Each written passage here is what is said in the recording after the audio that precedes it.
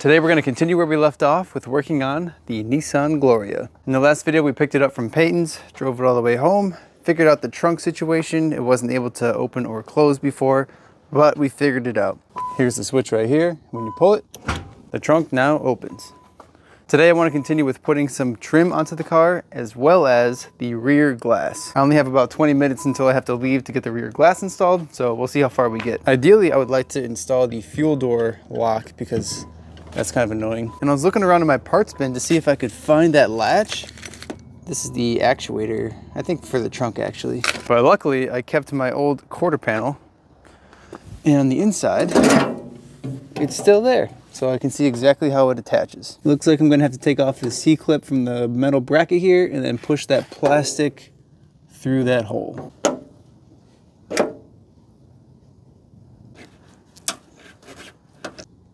Looks like this spring actually comes out of here, so we gotta be careful not to lose that. And then when you push in this button, you can see the ridge where the C-clip needs to sit. That is gonna be a challenge to install on the inside of the quarter panel though, especially without losing this little rod. Which way did this go? I guess it only makes sense to go this way, right? So it looks like the actuator will mount on the inside here. The rod is going to face towards the fuel door. Just gotta find the two studs that line up. Yeah, I ended up just putting the rod on there first because there was too much in the way with the whole actuator. And that made it a lot easier to get this tiny C-clip on there. Well, I ended up having to pack up because it's time to leave. Unfortunately, we only had time to do that gas store. And I haven't closed it yet so I can share the satisfaction with you guys. Uh-oh. Does this need to be aligned? Oh, no, we're good. Sweet. One more piece to the puzzle. We are back at Omar's, although the Gloria is out front. I didn't pull it back here because there's cars in the way, but let's see if our windshield or back glass survived all winter. So far, so good. Yeah, I think we're good. We got Cisco here once again, putting in that work. He's done the glass on my 240 as well. He's also one that removed the glass from this car. I forgot about these clips. These actually set the position of the window. that sits on it. So you kind of slide it in here.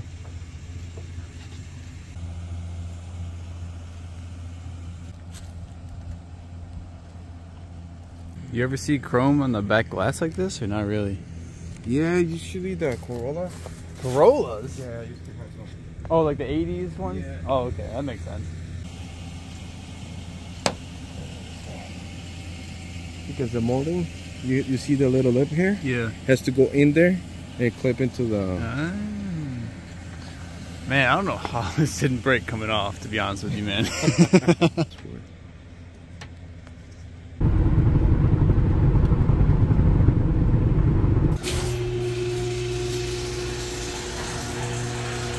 we have arrived at Nate's. Well, actually, last night we arrived here after we let the back glass dry for about an hour. But today is also Nate's birthday. Woo! so we're gonna go cruise around. Tim's here as well. Happy birthday, Nate! Yeah! but we need to uncover Nate's Skyline. This is a four-door R32. I'm sure a lot of you guys have seen it in the background of some of the videos, but since we all have our four doors out, we figured it'd be fitting for Nate to finally take his Skyline out. So everything is like just barely gapped away from touching it. So it'll be nice to shake the cobwebs off of this thing. Throw my new plates on. You got new plates? Yeah. Oh, what? Uh, So, On the floor. oh, they're upside down. Well, I guess we'll see what they are. Driving my grandma car out of here, or I guess driving the mobster car, or the mom car, however you look at it. How we looking, dog? Dang, the back glass really makes it look like a whole car again. Can we queen this? Yes, I want to clean the glass and also put on the other taillight. This thing's so sweet. This thing is sweet. The chrome.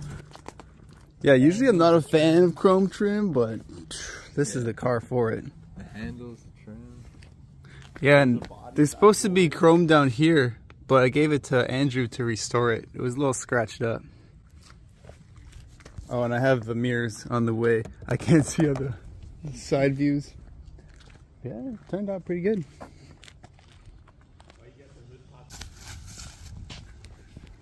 Is this a 9 or a 10? This one might be the That looks like a 10, dude.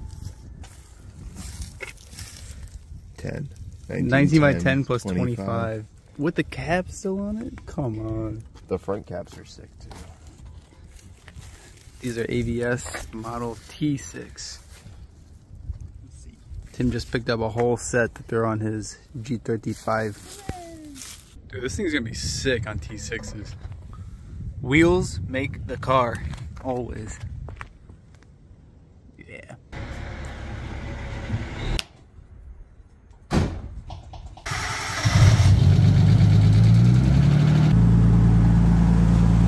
Sounds good.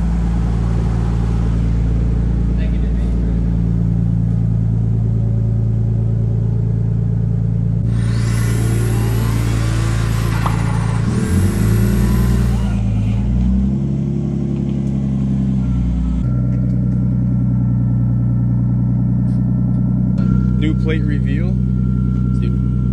RB World. Spelled World. If you know, you know. If you know, you know. Gotta be. Man.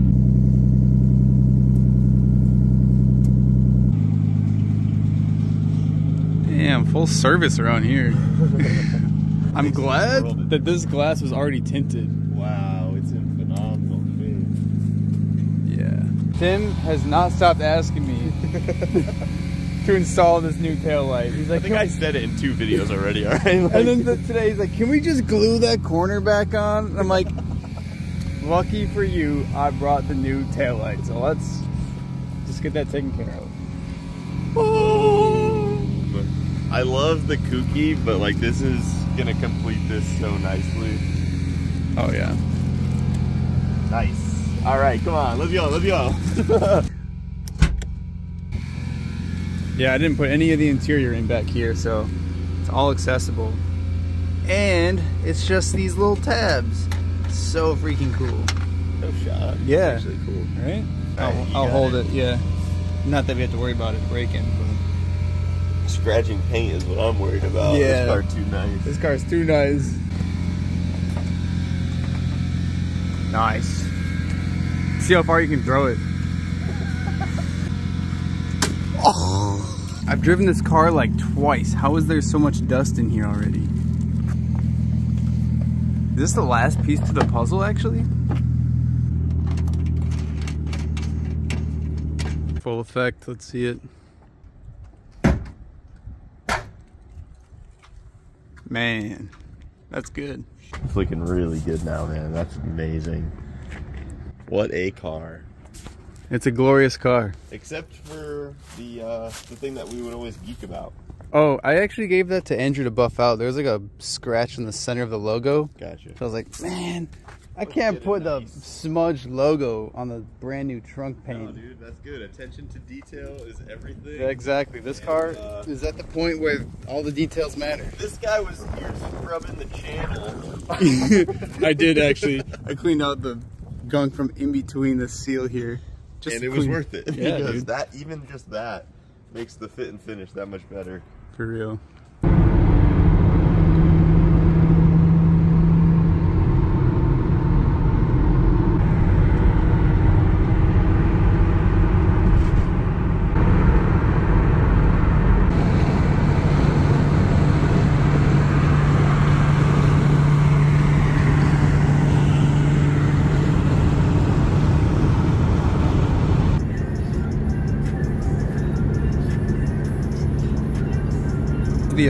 This is officially the very first place I have driven the Gloria in one piece.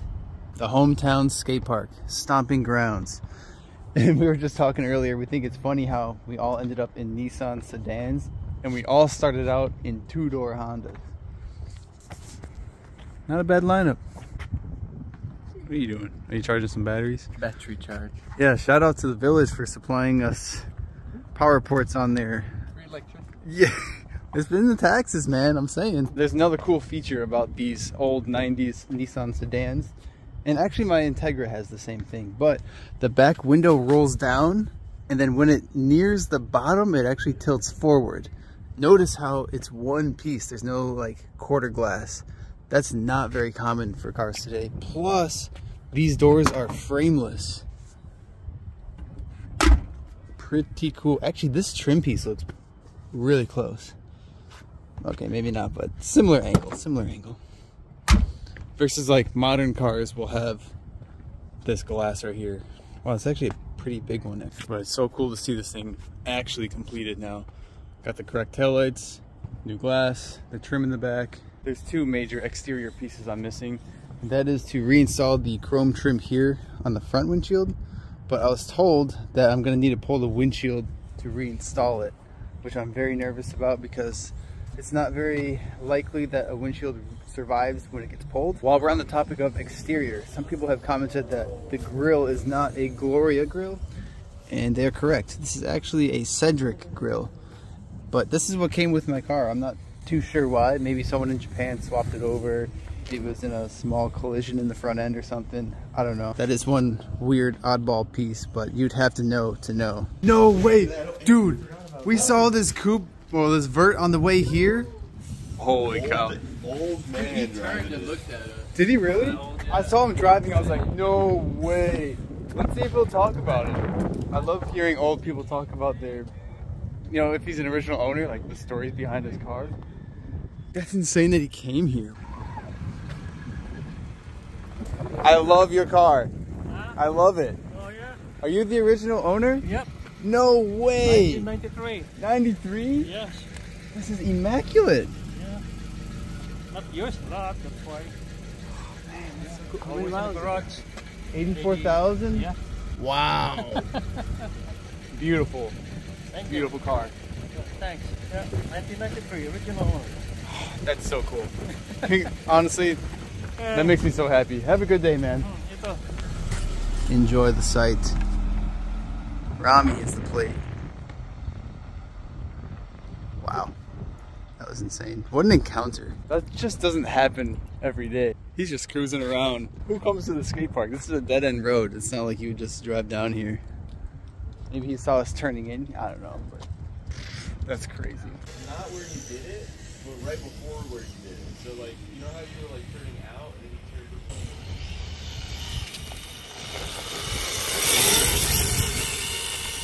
Well, well, well. Spin move. You haven't seen this in person yet, have you? Damn. Well, yeah. Well, not since it's been done. Right, the Yeah. paint. I mean, Dang, it looks so good. It's so weird to see like you have a car with like nice paint. all right. we didn't have a single all right. car with nice paint. We did Wow. have one, but Well, it did, true. more to come, that's for sure. Yeah. Wow, it looks so good though. It looks so like put together with the glass in now. Oh, it's like definitely. feels all official. Yeah. Well, we also put on the other taillight that's not cracked. I do need to straighten out this exhaust tip though. It's bent up from the crash. Let's load this guy up. Slide the battery in. And I already know there's going to be comments asking what chassis we run, and they are all Yokomo YD2s. Pretty fun stuff. Turn it on, put the body on.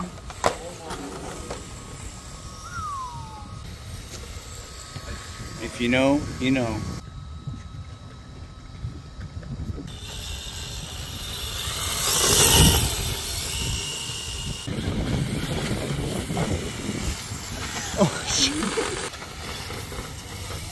Okay, okay.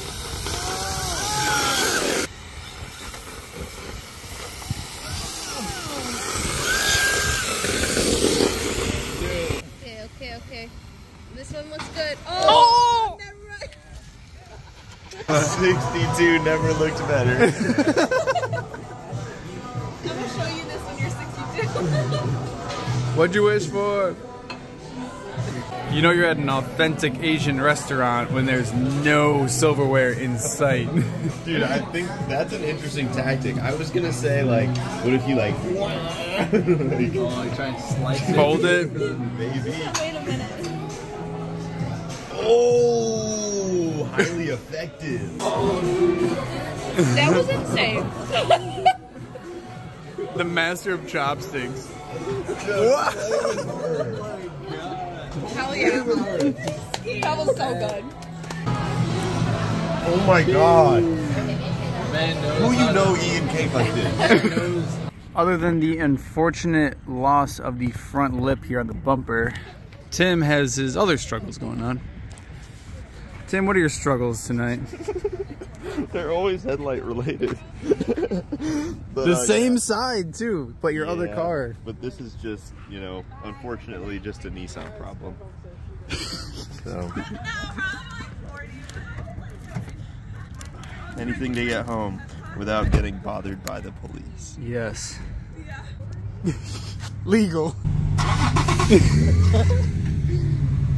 Gotta do what you gotta do, man. Hey, anyway, the Anybody keep the fans off of me, dog. That's what it that's what I was looking for. real. Hey, I'm just glad I didn't get pulled over on the highway. Oh, I've had these wheels sitting on my shelf for just over two years now, and the only reason I didn't run them is because the specs were so weak. So I figured today I would show you the process we're going to use to rebuild them into a better spec. These are made by Weds, and they are Serbs 1. These faces are in great condition. Unfortunately, the lips do have some scratches, but it's nothing too crazy. No curb rash or anything, just probably from getting tossed around shipping overseas and whatnot. The factory spec of this pair of wheels is 17 by 8 plus 30-ish, and plus 38 is much too weak for any of the cars that I have. So we're going to rebuild them into a more aggressive spec. And the cool thing about Weds wheels is they're not welded from the factory. So this is actually the factory sealant. So we can split these apart without having to grind them apart. So with these being 17 by 8 plus 30, and this is how you can check by the way, you don't actually hug it over the outside of the lip, you put it on the inside where the tire would sit. And that's how you get the 8 right there. That's the width. Then the offset's a little harder to calculate, but it's from hitting the hub here, and then you get that measurement, and then you subtract it from the overall. Since these wheels are 17 by 8 plus 30-ish, I want to increase it to 17 by 9, so I increase the lip size. So I'll push this 8 over to the 9. So where the measuring tape end is now is where we're going to want the tire to sit. So I just ordered a bigger lip. These are 17 by 3, and for reference, these lips are 17 by 2. You can see there is the 2 in the midpoint. So this is a 17 inch wheel, 2 inch lip, and 6 inch barrel. You could also just do 8 minus 2 to get a 6 as well. I hope that made sense. I know it can be a little confusing, especially with calculating the offset. And if my calculations are correct, after we put these lips on, it'll be 17 by 9 plus 15, which is the perfect spec for an S chassis. Let's load these things up and bring them over to Andrews. Andrew is honestly the wheel plug at this point. He's been helping me out with wheels for a couple of years now.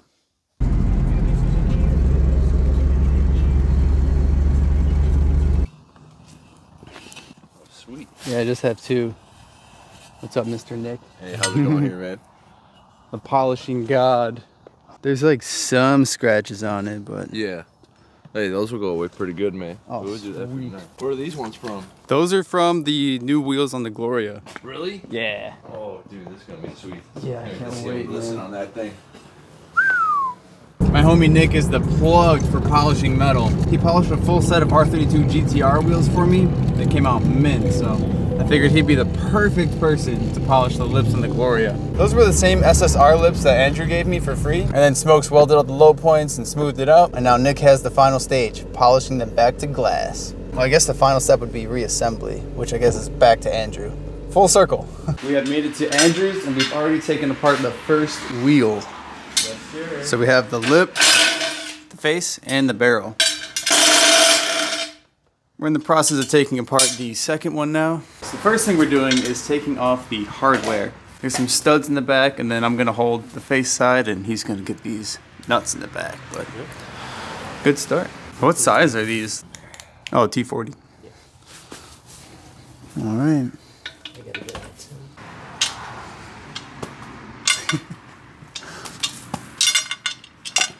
We're gonna mount this onto the tire machine next because we're gonna cut off the seal. Luckily, these aren't welded, right? Nope, they're not welded. We're gonna use this razor blade. Spin around while I'm slicing that part TV off. Most three-piece wheels, would you say most are welded? Yeah, most of them are welded. This is actually the first time I've seen it uh, sealed like this. Oh, really? Factory. Yeah, I knew weds didn't weld them. Yeah. But that's a good thing. Dude, it's gonna come out in one piece. One solid clump. Dude, that's a big necklace. Oh no! It reminds me of one of those slappy stick hands. Fuck yeah. Does this not remind you of those things with the hand on it where you like, oh yeah. it sticks it. yeah, Sticks it on the wall. it's so Exactly stretchy. what it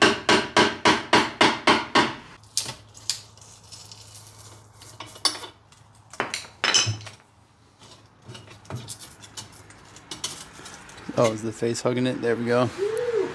One pizza. Imagine.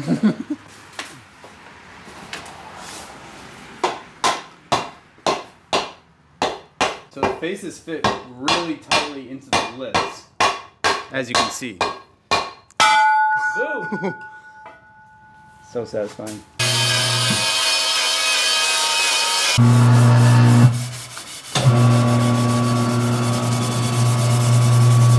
Want to reuse the hardware so crusty, so check out this trick that Andrew has. So you stick it in a drill, not too tight, so you don't ruin the the threads. You just spin it. What kind of Scotch pad is Brite. that? Scotch Brite? Yeah, it's the gray gray Scotch pad, Okay. and Dude, that was brand new. that looks brand new. That's all you gotta do, and it's I'm gonna start doing that while he cuts the rest of the uh, barrels and lips. You have some type of spray you put on there? Is it anything in Mm. particular? on here. Well, on here I just use alcohol to clean Oh, okay, okay. to clean it up. You do that to all three parts, or just the, Uh, the barrels? Just the parts that I, I worked on, but it doesn't hurt to do it there. So you know, like you, you get rid of any the residue. slick residue because you're gonna put RTV on it. I'm making Mike do this part because I don't want to scratch it.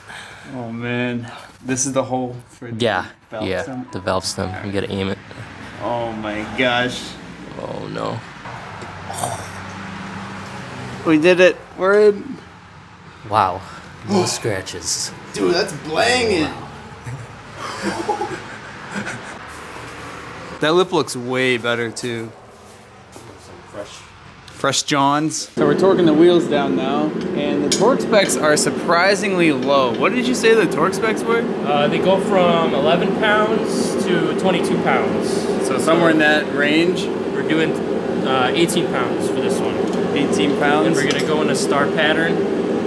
I see. You know, Yeah, you don't want to go straight in a row because it could warp how it centers on the face, right? Yeah, for right now. We don't want to torque it right away because we need to get that that little lip as far up as we can get it. Oh, okay. So don't torque it right away. Just gotta keep going. Just tighten them down like evenly. flywheel, Yeah. yeah. flywheel. There you go. You don't want these bolts coming off. I'll tell you that much. And surprisingly, you don't need to use Loctite on it. I thought you would have to, but Yeah. that's pretty cool.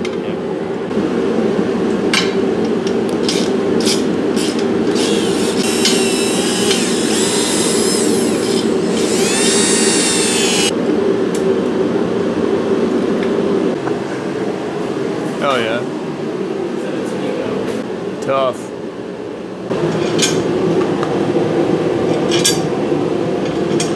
Now that everything is torqued to spec, it's back on the machine here, and we're gonna apply the sealant, We use the Dowsil 732 multi-purpose sealant. the RTV version. Yes, sir. Yeah. This is rated for aluminum, so this is the best stuff to use for rebuilding three-piece wheels. From my experience, Yeah. th- this this is the best. Because didn't you say like other people would seal them and it would just like rip off Yeah, the, the, whole the stuff that they put is usually from like Home Depot. Okay. So then when you put the tire on, the tar- tire is usually the same radius as the lip. So Right. It rips it right off. Damn. 'cause They're too soft. But this stuff, never had that issue before.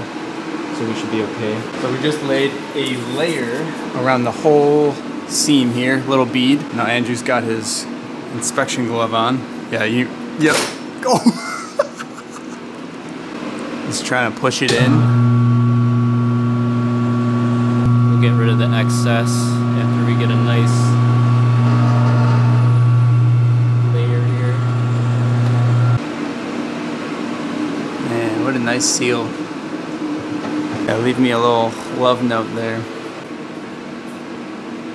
Bronc, baby. Although my intention with these wheels was not to put them on the Nissan Gloria, I'm starting to think these would actually match the car perfectly. But these are 17, so they would honestly fit exactly like that front wheel, which we've already determined is too small for our liking. I already have some wheels in the works for the Gloria. I'm just waiting to get the faces back from the chrome shop. And we also have a car missing from the fleet here. If you know, you know. And if you don't know, we're finally pulling the dent on my 240SX. That's going to be in the next video, and that's going to end this video. Thank you guys so much for sticking around. Don't forget to drop a like if you haven't already. Subscribe to see more, and I'll see you guys at the frame shop. Peace.